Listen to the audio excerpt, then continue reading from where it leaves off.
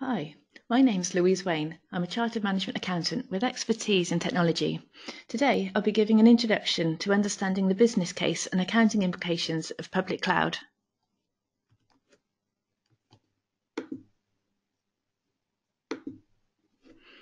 So after the webinar, you should have a better understanding of public cloud, accounting for cloud, the CapEx to OpEx shift, the total cost of ownership, optimization in the cloud, licensing considerations, the value proposition, and all of this will support the business case for public cloud.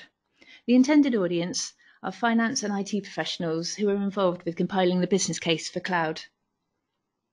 So let's start with some background about public cloud. Cloud computing.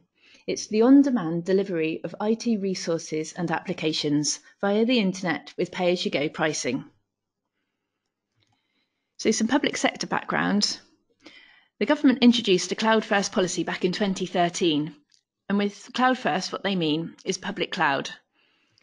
In 2017, the approach turned to being cloud native, so software as a service models were encouraged. Also in 2017, the blue light services were given the green light to move to public cloud. And what we're seeing is that cloud is now mainstream in private sector and there's increasing adoption in public and third sectors. So in the public cloud market, there's three main players. Amazon Web Services, known as AWS. They were there first and they've got the greatest market share. There's also Microsoft Azure and Google Cloud. All of these offer superior technology so you're running your systems on the same world class infrastructure as global corporations. They're highly secure. The cloud provider is responsible for the security of the cloud, whereas the customer is responsible for the security of what they put in the cloud. These systems are reliable, scalable, and offer high performance. There's global reach and cost optimization. There's flexible pricing categories and support but using public cloud isn't just about the technology. It's enabling organizations to be better positioned to achieve their objectives. You're able to quickly deploy new applications, instantly scale up and down. So it increases your speed and agility. You benefit from the pace of innovation. So experimentation is easy to do at little cost, allowing businesses to change course quickly. So you can treat it as temporary and disposable which is something you wouldn't consider doing when investing in your own infrastructure. The cloud economics. There's two main primary cost drivers. So you benefit from lower unit costs, and this is a result of the major public cloud providers having increased scale, the latest technology, best practices, improved operational efficiency, and it's a competitive market. They're all out there to try to win your business. The second cloud economic advantage is from significant drop in capacity hoarding. So when you're running your own data center, the average rack runs at 75% capacity to allow for scalability. So the other 25% is wasted, and often it's more than 25% that's wasted. In public cloud, you match cost with usage. So you just pay for what you use. Here's an example. So if this was running in your own data center, you would run at the capacity of the orange line to allow for the peaks. And you would be investing based on estimated demand. Whereas in public cloud, if you were only to use your infrastructure 8 a.m. till 8 p.m., Monday to Friday, that's less than 40% of the full week. So you would benefit from turning it off. You can elastically respond to loads in an agile manner. Now, what this means is that there's tools available to help you auto scale, so you're adjusting capacity as needed based on configuration and auto scaling policies that you can set up within the cloud environments. So that's a really high level view of what cloud is. Now, the main purpose of the webinar is to talk about the accounting implications for public cloud. We often hear that the finances and accounting concepts around moving to public cloud can be a blocker. There's a huge like lack of understanding. And um, what we want to do in this webinar is increase people's understanding, both within IT and finance, of the accounting implications of moving to public cloud. So let's start with some background about what is CapEx and what is OpEx. So CapEx, this is capital expenditure. This is usually where you're buying an asset that's going to last over a year and has a significant value. So organizations have different policies on what level their capex threshold would be. Many organisations, it's if you're buying something that's over £5,000 with a useful life of over a year. And what you do is you put the cost to the balance sheet and then you spread the cost across the asset's lifetime as depreciation. So you see that in the profit and loss account as depreciation over the asset's life. Some examples on premise, this would be the hardware, storage, networking, software licensing, and implementation costs. So there's a lot of capex involved with on premise. Within public cloud, there's a shift from capex to opex. There really isn't much capex. Operating expenses, known as OPEX, these are the ongoing costs of running your business, and the cost is recognised in the month the benefit is received. So on premise, this is the annual support and maintenance, power and cooling of your data centre, facilities costs, and staff costs. Within public cloud, this would be the infrastructure, the cloud services, software licenses, because all of these are on a consumption basis. You pay monthly for what you use, and the staff costs. SaaS, so software as a service within public cloud, this is also treated as OPEX because it's treated as a service contract due to its rolling nature, auto upgrades, and the responsibility. Then there's cash flow, so the cash in and out of a business. On premise, this is spiky due to the unpredictable nature of hardware purchases, often as a result of something breaking down or a forecast peak in capacity. And there's annual licenses. Within public cloud, it's much steadier. You're paying monthly based on consumption. So, what is the appeal of capex? We often hear that it's easier for companies to spend capex than it is opex. Well, this will be because you're spreading the cost of capex over the lifetime of the asset rather than in the one financial year that you're in, which is where you would see opex. Also, when you're purchasing capex, you're adding to the value of the company, you're adding an asset to the balance sheet. Let's see what that would look like on a profit and loss account. Here's an accounting recap. So you'd have net income, then you see the costs, so some IT costs, other costs, which would be staff costs, facilities costs, marketing costs, etc., to give total OPEX. So net income, take away total OPEX, gives you EBITDA. You may not have heard of EBITDA, it depends what industry you work in. So EBITDA stands for earnings before interest, tax, depreciation, and amortization. It's a key profitability measure. It's also known as operating profit or loss because this measure is deemed to represent the ongoing trading activities of an organisation and whether it's therefore profitable. You'll notice this is before depreciation. We then take away depreciation to arrive at EBIT, which is earnings before interest and tax. So, what you notice is when you're spending OPEX, it does impact your operating profit. When you're purchasing assets that are then depreciated, the depreciation features after operating profit. So accounting for cloud, let's put some figures in. This is a really, really basic model looking at the shift from on-premise to cloud. So keeping everything simple, we're just increasing IT costs by 100. And this will because it is because of the consumption model within public cloud. We'll keep other costs the same. So therefore, your total OPEX is going up by 100. And that means that your EBITDA, your operating profit, is going down by 100. And as we said before, this is because when you purchase cloud, you're increasing your IT costs, but you're decreasing your depreciation because you won't have so many assets depreciating. So that goes down. And therefore, your EBIT stays the same. So, EBITDA, EBIT, does it really matter if you're spending OPEX or CAPEX? Well, in some industries, like we said, it's easier to spend CAPEX. And also in some industries and countries, for example, in the USA and in large PLCs, there's a huge focus on the EBITDA measure because it represents the ongoing profitability of an organization based on its trading activities. So analysts and investors use EBITDA to measure the trading performance And remuneration schemes, so bonuses, are often linked to this. So we need to ensure that this doesn't lead to any inappropriate procurement behaviour. We can do this by communicating the capex to opex shift and remembering that cash is key.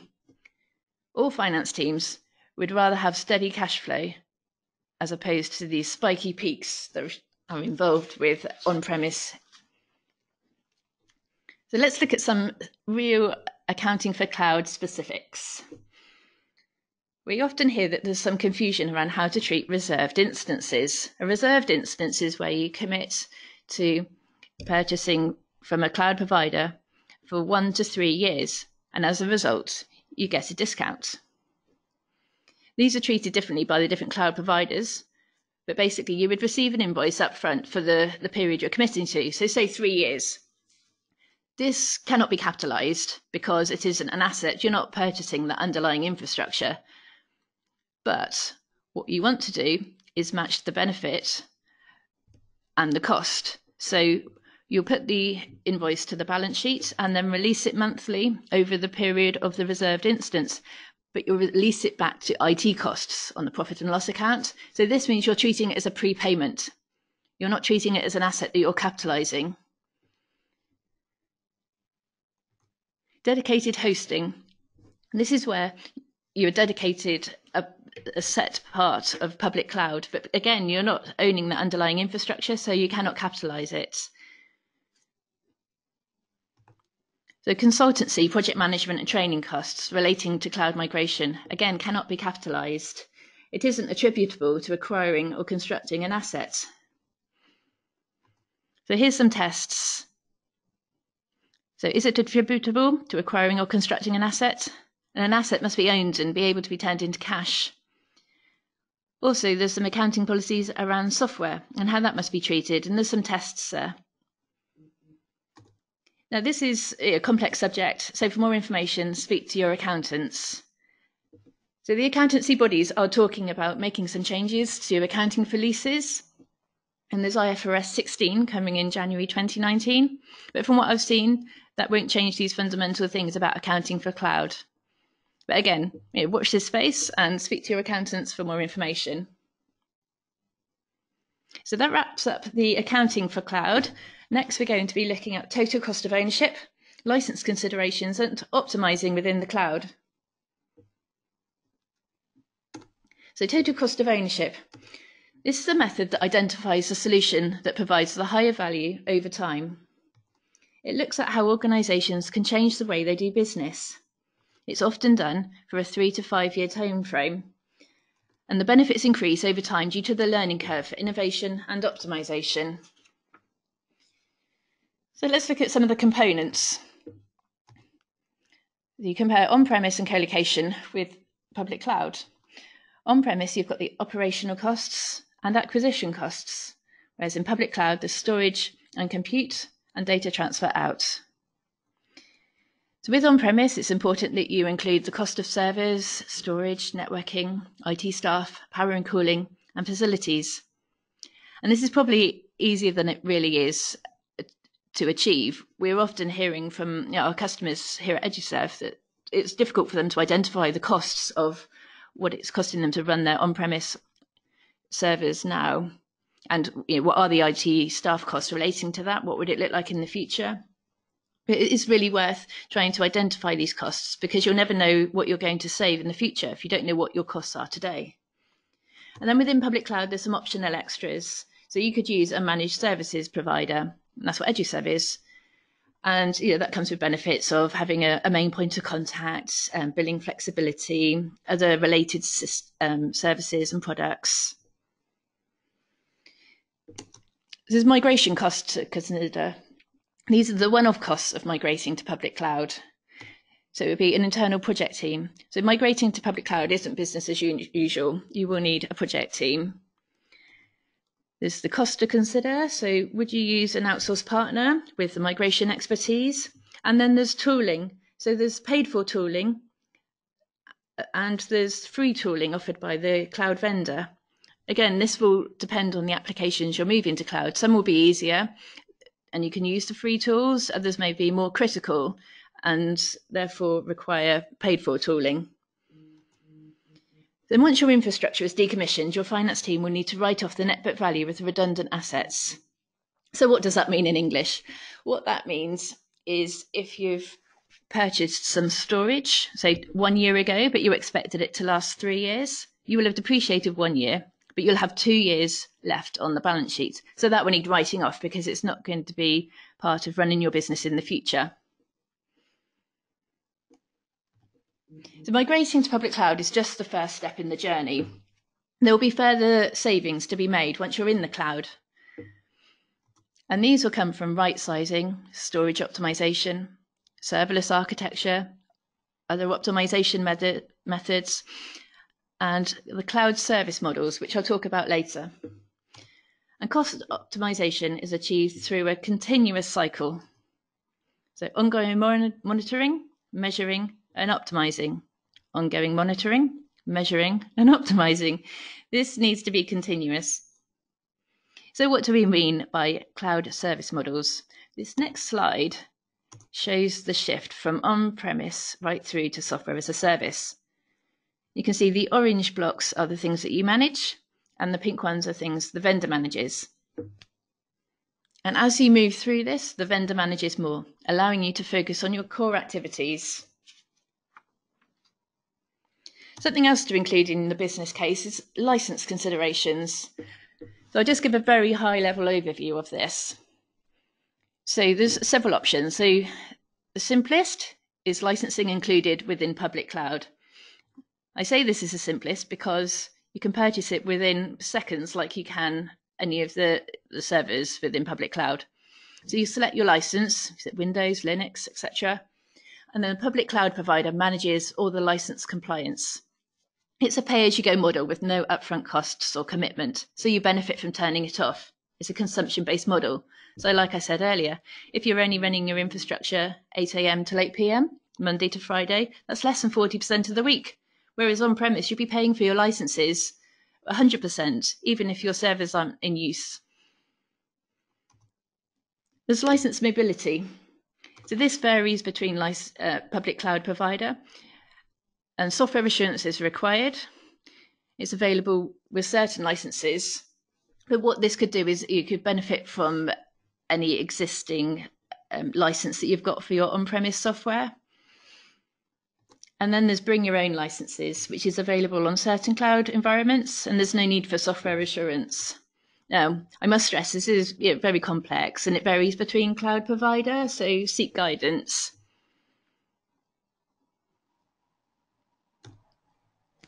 So finally, we're going to look at the value proposition and some key takeaways.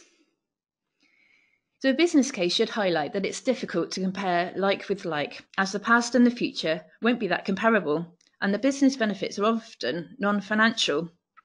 Therefore, it's important that the value proposition is understood. Businesses will no longer have to manage their own infrastructure.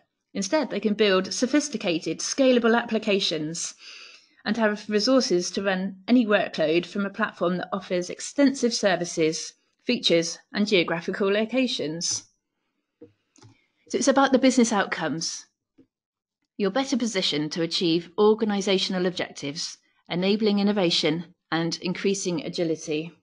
And this is through platform breadth, global reach, superior reliability, high performance, sustainable and scalable IT, favourable economics, operational efficiency, improved agility, and pace of innovation. And what this leads to is a focus on your core organisational activities rather than running your infrastructure. Experimentation is easy to do at little cost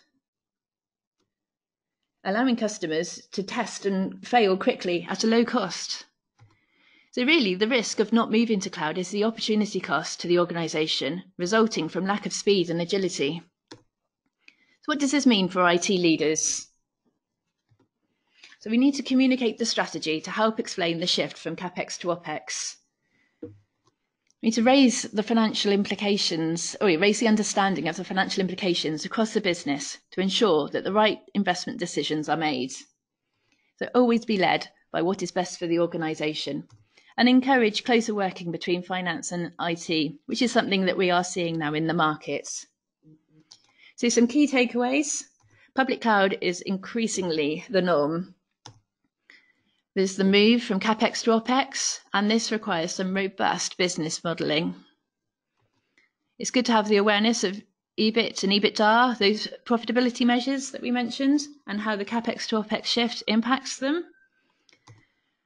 And also be aware that so TCO and the cost journey, so you never know what you could save if you don't know what you're spending already.